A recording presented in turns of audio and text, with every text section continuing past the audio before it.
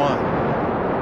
And zero and liftoff of Space Shuttle Atlantis, reaching the crest of its historic achievements in space. And Houston, Atlantis is in a roll. Roger, roll.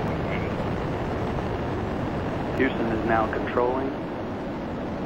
The roll maneuver is complete. Atlantis is in a heads down position on course for a 51.6 degree, 136 by 36 statute mile orbit.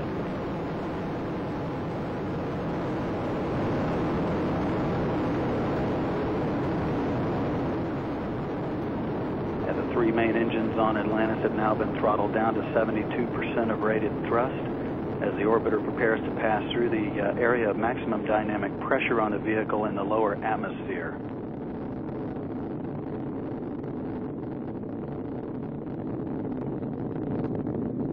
The engine's now beginning to throttle back up. Atlantis, you are go at throttle up. Copy, go, uh, throttle up.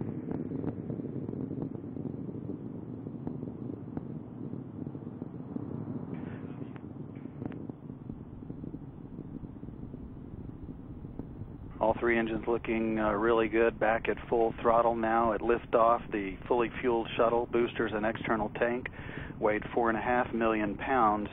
It now has burned uh, half of that liftoff weight in propellant. One minute, 30 seconds into the flight, all three auxiliary power units that provide hydraulic power to the orbiter's systems in good shape, as are the fuel cells providing uh, electricity to all of the systems on board. Atlantis is already 19 miles in altitude, downrange from the Kennedy Space Center, 20 miles, traveling 2,500 miles per hour.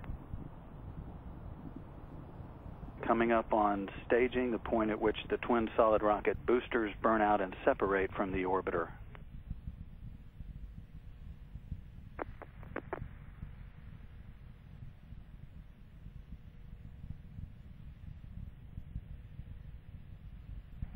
Booster separation confirmed. The onboard guidance system has done its job of settle, settling out any of the dispersions that have been introduced at the booster separation. Atlantis' uh, performance thus far is uh, exactly as planned as uh, Atlantis heads into orbit, uh, flying heads down, wings level into a historic sunset on its 30 second mission. Atlantis, you are two engine TAL. Copy, two engine TAL. Atlantis uh, can now reach uh, Zaragoza in Spain in the event of a single engine failure. However, all three main engines are still operating at full throttle, 104% of rated thrust. The auxiliary power unit still in great shape, as are the fuel cells. Atlantis is traveling 3,700 miles per hour at an altitude of 47 miles, downrange from the Kennedy Space Center now 88 miles.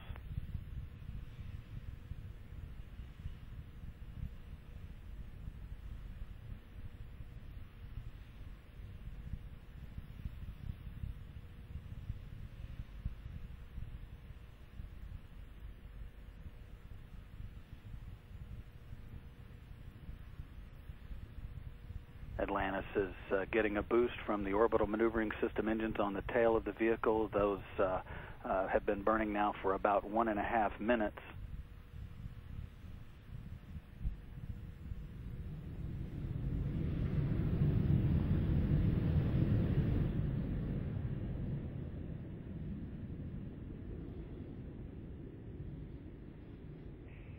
Atlantis, you are negative return. Copy, scored, negative return. Negative return means Atlantis can no longer return to the Kennedy Space Center in the event of an engine failure. It's already traveling too far, too high, and too fast to return to the launch site. Now traveling 6,000 miles per hour, 180 miles from the Kennedy Space Center at an altitude of 62 miles, or about 330,000 feet. This view from a camera on the external tank looking down the length of the orbiter as Atlantis heads into orbit on its uh, 32nd voyage into space.